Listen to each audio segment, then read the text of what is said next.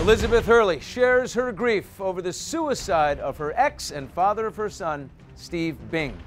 Hi, folks, and welcome to Extra. I'm Billy Bush. The news rattled Hollywood. The producer of films like Polar Express, Kangaroo Jack jumped from his building, and today people are asking why. This is devastating news. Those are a heartbroken Liz Hurley's first words about the tragedy as today she shared these poignant photos from her relationship with Steve. Tonight, police are investigating the shocking death of her son Damian's father and the $600 million Hollywood movie heavyweight as a suicide. His body was found here in LA's Century City neighborhood. Steve reportedly jumped from the 27th floor of this luxury high rise building on Monday afternoon. Liz and Steve waged a headline making paternity battle nearly two decades ago over Damian.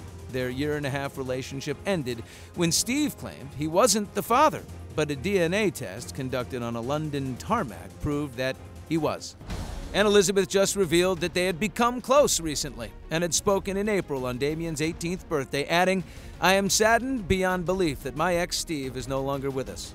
Their son, who starred alongside Liz in The Royals, It was a very odd thing for me to have my son on set with me, but he, as a professional, posted this sunset shot, thanking friends and family for their support, and said, This is a very strange and confusing time. The incident happened at Bing's LA apartment building known as the 10K.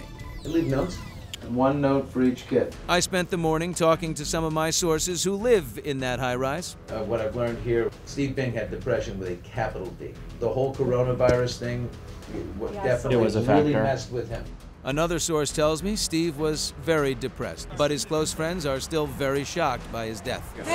The real estate heir, who also fathered a child with tennis player Lisa Bonder, had been linked in the past to women like Sharon Stone, Naomi Campbell, Farrah Fawcett, Sheryl Crow, and even Nicole Kidman. He inherited $600 million on his 18th birthday from his grandfather. He was also a philanthropist who's said to have donated $100 million to former President Clinton's foundation. My source says they had suffered a falling out. President Clinton tweeted, I loved Steve Bing very much. I hope he's finally found peace. Thank you for watching. If you want more extra, hit the subscribe button and the bell so you'll never miss a video.